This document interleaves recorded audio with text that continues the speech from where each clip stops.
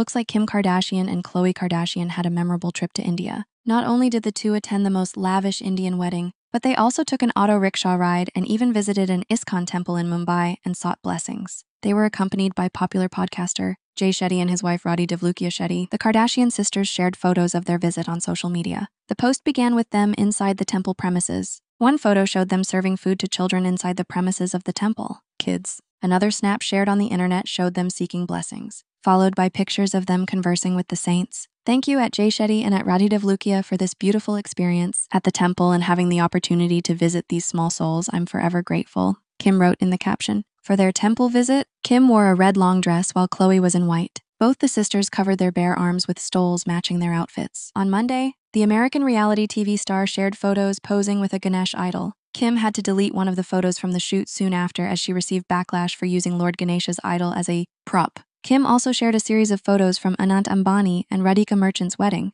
Sharing these pictures, Kim wrote, India has my heart. Priyanka Chopra also went on to like these pictures. Kim had also dropped a selfie with Aishwarya Rai Bachchan and hailed her as a queen.